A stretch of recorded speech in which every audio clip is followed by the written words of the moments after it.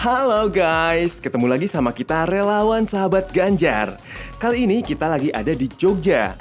Dan Pondok Pesantren Nahdlatul Syuban 2 Bantul merupakan lokasi yang kita kunjungi kali ini.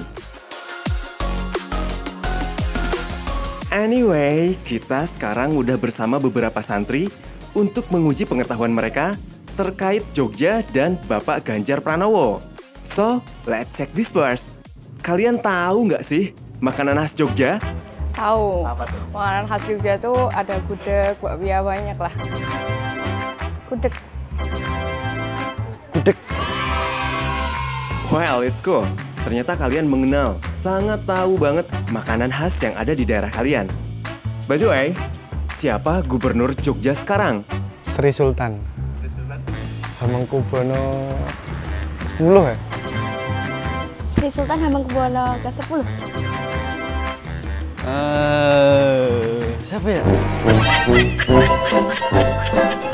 It's okay, kalian bisa belajar mengenai pemerintahan kota Jogja dari internet, dari buku, atau dari mana pun. Lalu, berdasarkan informasi Yogyakarta ini memiliki banyak institut pendidikan yang berada di dalamnya. Dan dari situ, maka Yogyakarta ini dikenal sebagai kota apa? Hmm, Jogja Istimewa. Kota pelajar. Pelajar. Nah, tadi kan kita udah ngasih pertanyaan seputar Jogja. Sekarang kita pindah topik mengenai Pak Ganjar Pranowo. Kalian tahu nggak sih, Pak Ganjar itu sekarang menjabat sebagai apa? Gubernur Jawa Tengah. Gubernur Jawa Tengah. Calon presiden. Gubernur Jawa Tengah. Nice, nice, nice. Banyak dari kalian yang ternyata sudah mengenal siapa Pak Ganjar Pranowo. Anyway, kalau Pak Ganjar jadi presiden, kamu ingin Pak Ganjar itu menjadi sosok seperti apa?